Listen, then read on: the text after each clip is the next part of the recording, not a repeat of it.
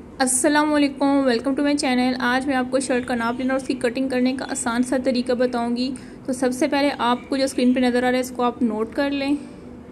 उसके बाद मैं आपको नाप लेने का तरीका बताऊँगी। सबसे पहले हम शर्ट की लेंथ को नाप लेते हैं। इस तरह से। अब जहाँ से नेक लाइन स्टार्ट हो रही है, उसके बिल्कुल कॉर्नर से आपने इस तरह से इंच स्ट्रेप को रखना है और नीचे तक ले जाना है। यहाँ पे मेरे पास जो शर्ट की लेंथ आ रही है, वो आ रही है फोर्टी वन इंचज़ यहाँ पे मैं जो भी नाप लूँगी, वो मैं तैयार नाप लूँगी। बाद में इसमें हम फोल्डिंग के लिए और सिलाई के लिए अलहदा से मार्जिन लेंगे। यहाँ से मैं शर्ट की चौड़ाई यानी कि दामन को नाप लेती हूँ। तो इसका नाप मेरे पास आ रहा है। ट्वेंटी फोर इंचज़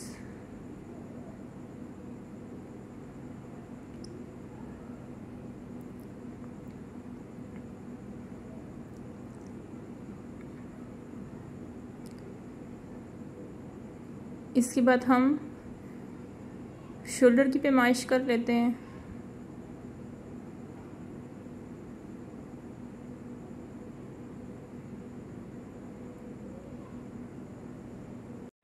शर्ट को आपने सही से फैला के फिर नाप लेना है। यहाँ पे इस तरह से हम शोल्डर को नाप लेते हैं। अब इसकी पैमाइश मेरे पास आ रही है सिक्सटीन इंचज़ यानी कि इसकी जो चौड़ाई है वो आ रही है सिक्सटीन इंचज़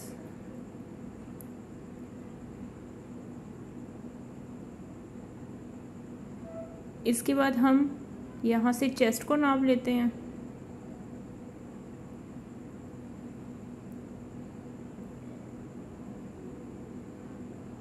कि यहाँ से इसको रखना है और दूसरे सिलाई तक ले जाना है। अब यहाँ पे मेरे पास इसकी पैमाइश आ रही है twenty one point five inches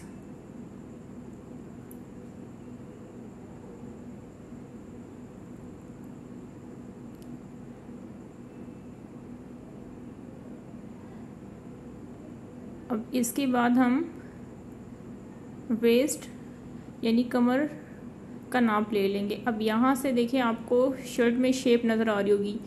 तो यहाँ से हमने कमर का नाप लेना है।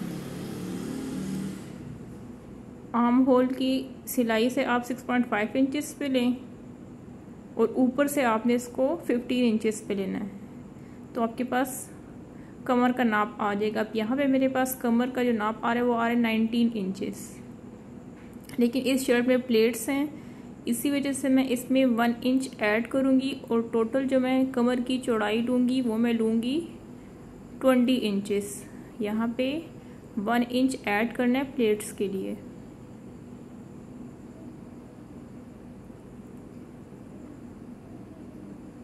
अगर आपकी शर्ट में प्लेट्स नहीं है तो आपने फिर यहाँ पे वन ऐड नहीं करना.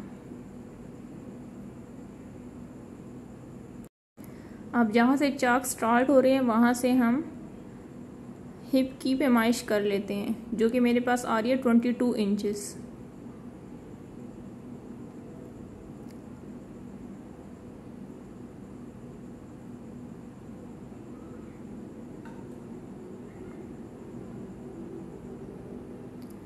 अब यहाँ से हम चाक को भी नाप लेते हैं कि इसकी कितनी लेंथ हमारे पास आ रही है। तो यहाँ पे मेरे पास चाक की जो लेंथ आ रही है, वो आ रही है 21 इंच। इसको भी नोट कर लेना। है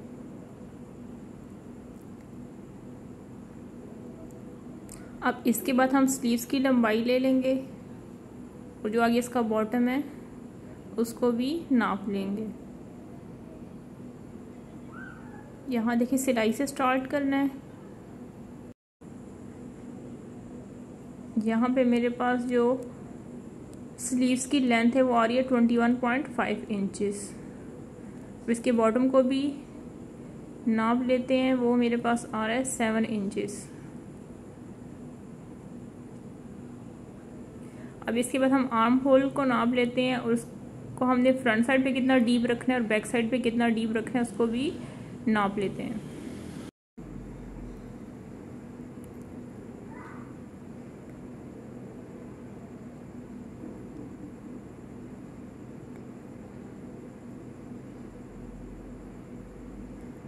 अब यहाँ पे आपने आर्म होल की पेमाइश किस तरह से करनी है? देखिए, इस तरह से स्लीव्स को एडजस्ट कर लेना है। इस तरह से इसको नहीं रखना, बल्कि इस तरह से इसको रखना है, गोलाई की शेप में।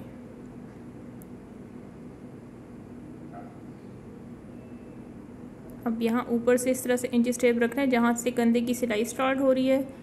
और यहाँ पे देखिए, इस सिलाई से सीधी एक लाइन बेशक आप ड्रॉ कर लें तो जहाँ पे ये इंच स्टेप को टच करेगी, उतने ही आपके पास आर्म होल की पैमाइश आ जाएगी, जो कि मेरे पास आ रही है एट इंचेस आपके पास भी जो आएगी, आपने उसको नोट कर लेना है। वैसे आर्म होल को जितना हमने तीरा रखा होता है, यानी कि शोल्डर रखा होता है, उतना भी ले सकते हैं, लेकिन अगर आपके पास नाप के लिए शर्ट अवेलेबल है तो आप इस तरह से आर्म होल को नाप सकते हैं। अब ऊपर से फाइव इंचेस पे एक मार्क लगाना है। देखिए, इस तरह से। इसी तरह से दूसरी साइड पे भी लगा देंगे। ऊपर सिलाई से नीचे फाइव इंचेस पे एक मार्क लगा लेना है। अब इन दोनों पॉइंट्स के दरमियान में जितना गैप है, उसको आपने नाप लेना है, जो कि मेरे पास आ रहा है फिफ्टीन पॉइंट टू इंचेस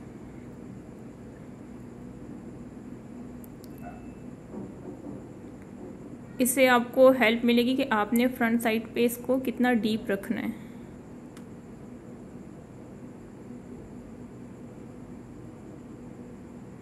इसी तरह से हम बैक साइड को भी नाप लेंगे।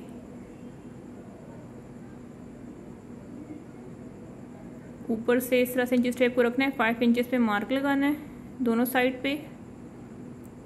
उन दोनों के दरमियान में जो गैप है, उसको आपने नाप लेना है। यहाँ पे मेरे पास आ रहा है सिक्सटीन पॉइंट सेवन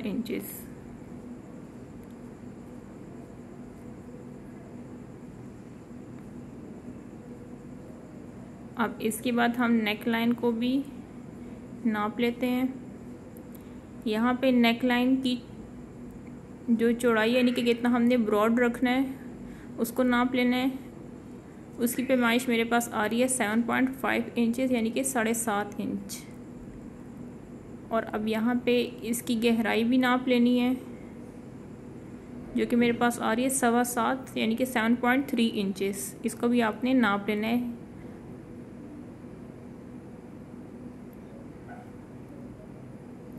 अब इसके बाद चलते हैं शर्ट की कटिंग की तरफ़. जो भी फैब्रिक आपके पास अवेलेबल होगा, आपने उसको अच्छे से प्रेस कर लेना है और उसको दरमियान में से फोल्ड कर लेना है। और यहाँ पे आपने ध्यान रखना है कि इसके बॉर्डर बिल्कुल इक्वल हो, ऊपर नीचे ना हो। अगर ऊपर नीचे होंगे, यानी कि कान कपड़े की निकली होगी, एक साइड ऊपर, एक साइड नीचे को होगी तो इस प्रॉब्लम का सोल्यूशन भी मैं अपनी एक वीडियो में बता चुकी हूँ। उसका लिंक मैं डिस्क्रिप्शन में भी दे दूँगी और आई बटन में भी दे दूँगी। आप वहाँ पर जाके इसको चेक कर सकते हैं। बहुत ही आसान मैथड और आपका ये मसला भी सॉल्व हो जाएगा। अब सबसे पहले हम शर्ट की लेंथ को निकाल लेते हैं। अगर अब यहाँ पे नीचे फोल्डिंग के लिए अगर आप पाइपिंग यूज़ करें तो आपने हाफ़ इंच एक्स्ट्रा लेना है। वन इंच भी ले सकते, लेकिन हाफ़ इंच भी इनफ होता है।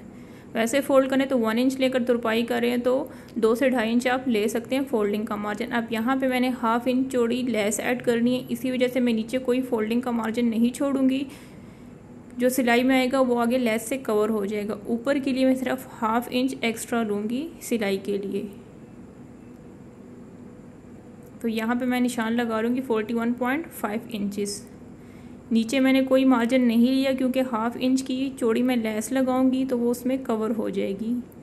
जो सिलाई में आएगा वही पार्ट उसका लेस में कवर हो जाएगा। अब यहाँ पे लंबाई निकाल लेने के बाद आपने एक स्ट्रेट लाइन ड्रॉ कर लेनी है।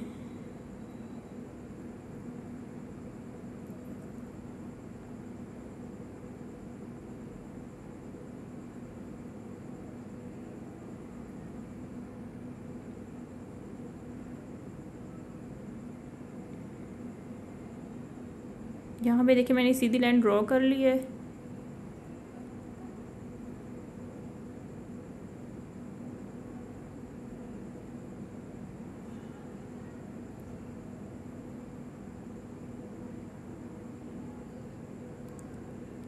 अब यहाँ पे देखिए शोल्डर की जो पैमाइश मेरे पास आ रही थी, वो थी सिक्सटीन इंचज़ इसको डबल फोल्ड करेंगे तो एट इंचज़ आएगा।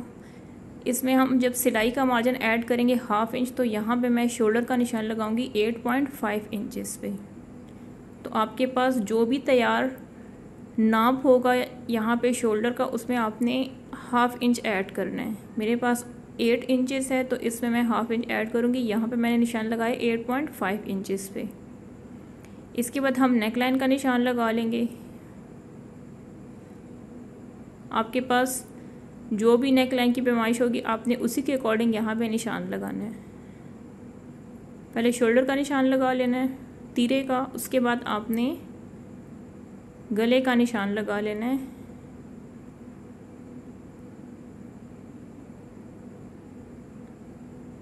अब यहाँ पे मेरे पास 7.5 इंचेस ब्रॉड नेक लाइन थी तो उसको मैंने इस तरह से इंचेस टेप फोल्ड करके हाफ़ कर लिया है, और यहाँ पे मैं गले की चौड़ाई का निशान लगा लूँगी।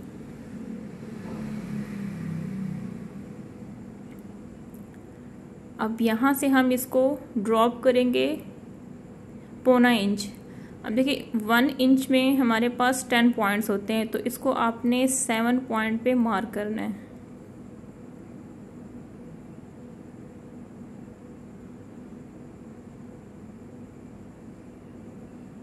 यहाँ पे शोल्डर का निशान 8.5 इंचेस पे 8 इंच तैयार है और नेक लाइन का निशान हमारे पास पौने चार इंच पे आ जाएगा। अब इसके बाद हम आर्म होल का निशान लगा लेंगे तो इसको आपने ऊपर से नहीं रखना, बल्कि जितना आपने ड्रॉप किया वहाँ से रखना एट इंचज़ पे मार्क लगा लेना है। और यहाँ पे कमर का जो निशान है, वो मैं लगाऊँगी 15.5 इंचेस पे। 15 इंच पे कमर का निशान है, लेकिन हाफ़ इंच ये ऊपर कंधे में सिलाई आएगी तो उसको ऐड करके मैं यहाँ पे निशान लगाऊँगी 15.5 इंचेस पे। जिनकी हाइट छोटी हो तो वो यहाँ पे 14 इंचेस पे भी मार्क लगा सकते हैं। अगर हाइट बहुत ज़्यादा हो तो यहाँ पे आप 16 इंचेस तक इसको बढ़ा भी सकते हैं। लेकिन यहाँ पे आपने हाफ़ इंच ऐड करना है। अब मेरे पास तैयार कमर 15 इंचेस पे है, इसमें मैंने हाफ़ इंच ऐड किए क्योंकि ऊपर कंधे में सिलाई लगेगी तो उससे फिर ये नाप छोटा हो सकता है। और हिप्स का निशान मैं लगा लूँगी। इक्कीस इंच पे। अब इसके बाद हम दामन का निशान लगा लेते हैं।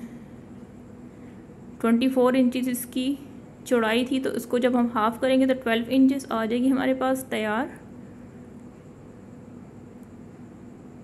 अब यहाँ पे भी अगर आप पाइपिंग यूज़ कर रहे हैं तो आप हाफ़ से पौना इंच ले लें। और अगर आप वैसे फोल्ड करें तो आप वन इंच भी ले सकते हैं। यहाँ पे मैं वन इंच लूँगी।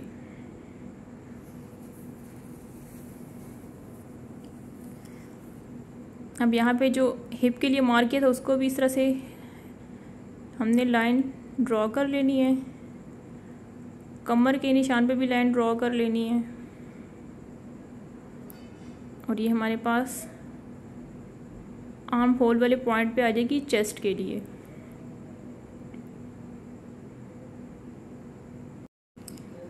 अब यहाँ पे हम जितना हमने ऊपर तीरा रखा था 8.5 इंचेस उतना ही यहाँ पे हम मार्क कर लेंगे 8.5 इंचेस पे।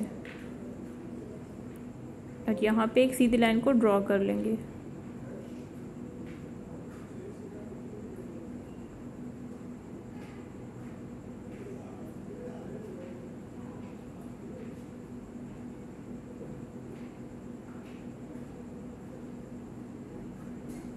अब यहाँ पे हम चेस्ट के लिए निशान लगा लेंगे।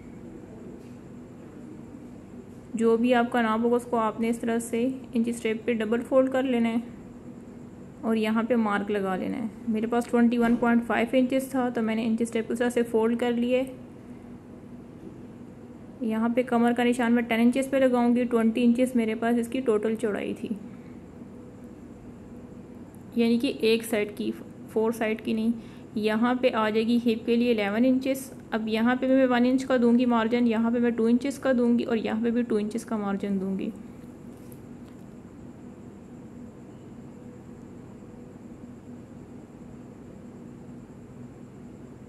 यहाँ पे इसके साथ शेप दे देनी है।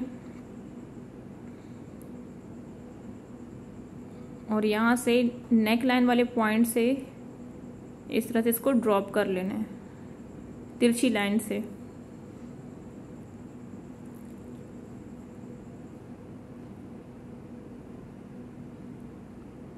अब इसके बाद जो मेन हमारी कटिंग होती है, वो होती है आर्म होल की। अगर आर्म होल आप परफेक्टली कट करेंगे तो आपकी शर्ट की फिटिंग परफेक्टली बैठेगी।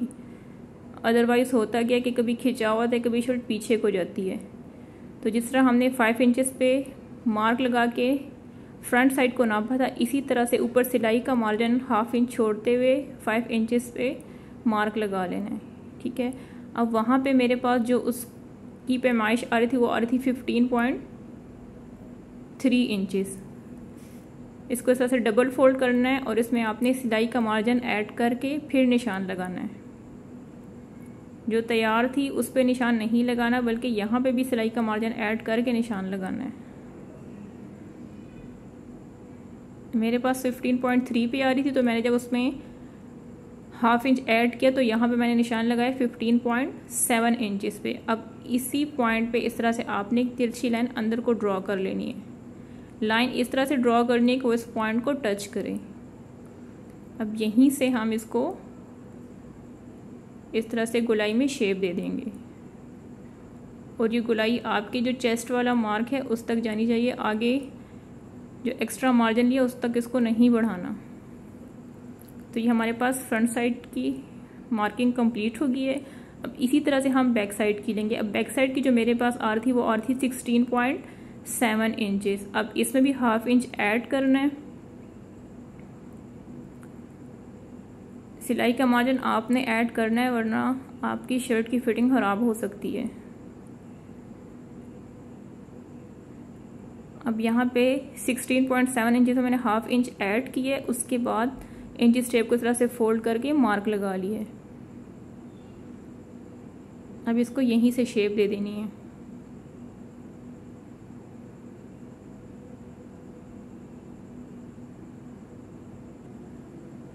अब ये हमारे पास बैक साइड आ जाएगी और ये हमारे पास फ्रंट साइड आ जाएगी। मैं आपको फिर से पूरी शर्ट की मार्किंग समझा देती हूँ। सबसे पहले आपने इसे सीधी लाइन ड्रॉ करके शोल्डर का निशान लगाना है यानी कि तीरे का, जो कि मैंने 8.5 पॉइंट इंचज़ में लगाया है। जो आपके पास तैयार होगा, उसमें आपने हाफ़ इंच ऐड करना है। उसके बाद आपने नेक लाइन पे का निशान लगाना है, जितना आप ब्रोड पहनते हैं। उसके बाद यहाँ से आपने इसको ड्रॉप करना है, पौना इंच, यानी कि इंचज़ में टेन पॉइंट होते हैं तो पॉइंट सेवन इंचज़ इसको ड्रॉप कर लेना है। इसको ड्रॉप करने के बाद आपने आर्म होल का जो नाप है, वो लगाना है। ऊपर से नहीं करना, अदरवाइज़ आर्म होल आपका छोटा हो जाएगा। तो यहाँ से एट इंच से मैंने निशान लगाया था। उसके बाद कमर का निशान मैंने लगाया फिफ्टीन पॉइंट फाइव इंचज़ पे। हाफ़ इंच ऊपर सिलाई में कवर हो जाएगा तो फिफ्टीन इंचज़ पे कमर तैयार आएगी। और हिप का निशान मैंने लगाया है इक्कीस इंच पे। अब मार्किंग करने के बाद आपने इस तरह से शेप दे देनी है इन पॉइंट्स को। इसके बाद दामन का निशान लगाया है। और वन इंच यहाँ पे मैंने एक्स्ट्रा लिया है फोल्डिंग के लिए। यहाँ पे मार्जिन वन इंच लेना है। इसके बाद यहाँ पे मैंने टू इंचज़ लिए, आप कम ज़्यादा इसको कर सकते हैं। जो एक्स्ट्रा मार्जिन हम लेते हैं। यहाँ पे शोल्डर को ड्रॉप कर लेना है। और इसके बाद यहाँ से इंच स्टेप को रख के फाइव इंच से मार्क करना है। ऊपर से नहीं करना, जहाँ पे हमने ड्रॉप किया बल्कि सिलाई का मार्जिन छोड़ के तो आपने इस तरह से इंच स्टेप को रखना है। और आर्म होल को जितना हमने डीप रखना है, उसके लिए यहाँ पे हम मार्किंग करेंगे। तो इस तरह से आपने इंच स्टेप को रखना है। ऊपर से सिलाई का मार्जिन छोड़ के फाइव इंच पे मार्क करना है। इसके बाद फ्रंट साइड को जितना हमने डीप रखना है, उसकी हम कटिंग कर लेंगे और इसी तरह से बैक साइड की भी कर लेंगे।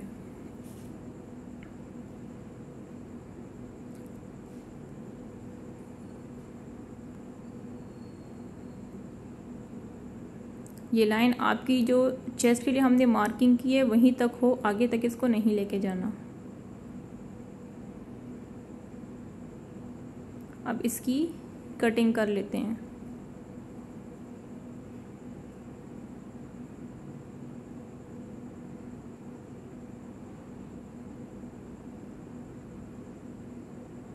पहले हम बैक साइड की कटिंग करेंगे।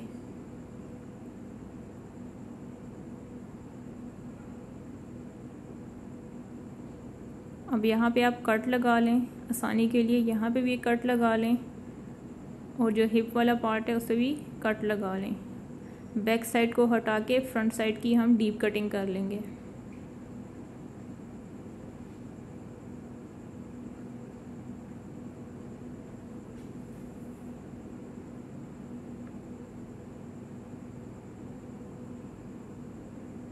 अब ट्रेसिंग व्हील की मदद से इस तरह से इसको ट्रेस कर लेंगे,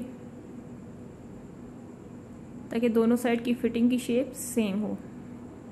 और यहाँ पे इसको इस तरह से मार्क कर लेंगे।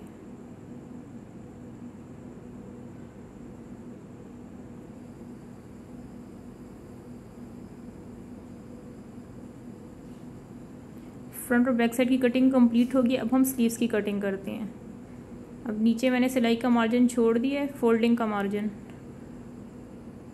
और ऊपर मैंने हाफ़ इंच सिलाई का मार्जिन लिए यहाँ से एक्स्ट्रा फैब्रिक को कट कर लेना है। सिलाई के लिए आपने हाफ़ इंच मार्जिन लेना है और नीचे आपने जितना फोल्ड करना है, उसी के अकॉर्डिंग आपने यहाँ पे एक्स्ट्रा फैब्रिक लेना है। लेस ऐड करनी है तो लेस की चौड़ाई को आपने यहाँ से माइनस कर देना है। अब यहाँ पे मैं निशान लगा रही हूँ थ्री पॉइंट फाइव इंचज़ पे। और आर्म होल की जो मेरे पास पैमाइश थी वो थी एट इंचज़ उसमें मैं हाफ़ इंच ऐड करूँगी और यहाँ पर मैं निशान लगाऊँगी एट पॉइंट फाइव इंचज़ पे।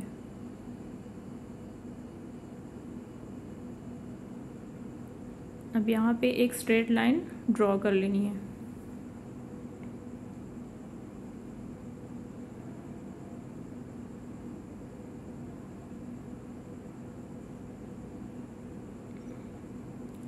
अब यहाँ पे एक मार्क हम लगाएँगे सवा दो इंच पे, यानी कि टू पॉइंट थ्री इंचज़ पे। अब इन दोनों पॉइंट्स को इस तरह से तिरछी लाइन से ज्वाइन कर लेना है।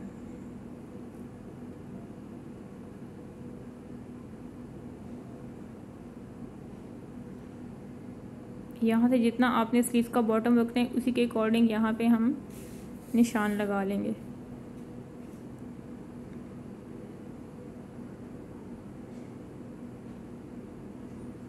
अब यहाँ पे मैं स्ट्रेट स्लीव्स बना रही हूँ। तो इस तरह से एक स्ट्रेट लाइन में ड्रॉ कर लूँगी।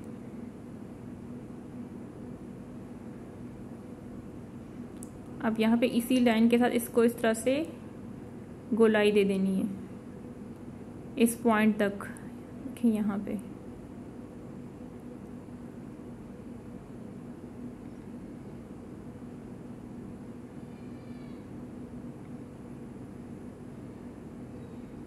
अब यहाँ मैं आपको, मैं फिर से समझा देती हूँ। सबसे पहले आपने नीचे फोल्डिंग का मार्जिन छोड़ना है और ऊपर आपने हाफ़ इंच सिलाई का मार्जिन लेना है। अब उसके बाद यहाँ पे आपने 3.5 इंचेस पे एक मार्क लगा के सीधी लाइन को ड्रॉ कर लेना है।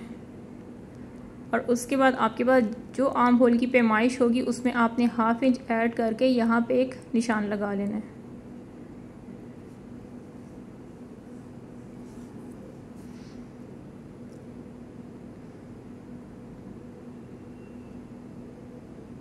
अब यहाँ पे सवा दो इंच पे निशान लगाना है और इसको एक तिरछी लाइन से मिला के इस तरह से इसको गुलाई में शेप दे देनी है। और ये गुलाई वाली शेप आपकी 8.5 इंचेस का जो पॉइंट था उस पर एंड होनी चाहिए।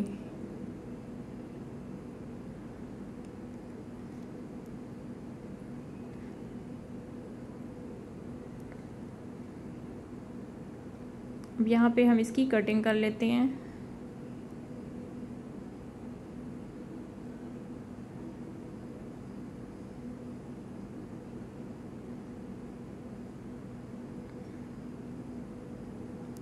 यहाँ पे वन इंच तक एक्स्ट्रा फैब्रिक हमने लेना है। एट पॉइंट फाइव इंचज़ के निशान से आगे वन इंच एक्स्ट्रा फैब्रिक लेना है। सिलाई का मार्जिन और इसको इस तरह से कट कर लेना है।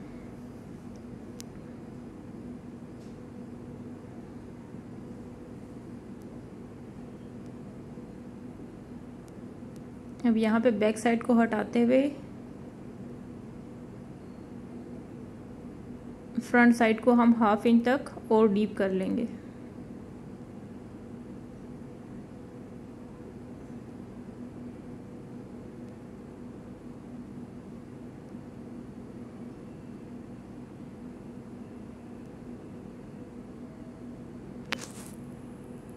अब यहाँ पे फ्रंट साइड वाले पार्ट पे इस तरह से मार्क लगा लेना ताकि बाद में मसला ना हो। कटिंग से रिलेटेड आपका कोई भी क्वेश्चन हो तो आप कमेंट बॉक्स में मुझसे पूछ सकते हैं। वीडियो पसंद आई तो इसे लाइक करना ना भूलिएगा। मिलते हैं नेक्स्ट वीडियो में। अल्लाह हाफिज़।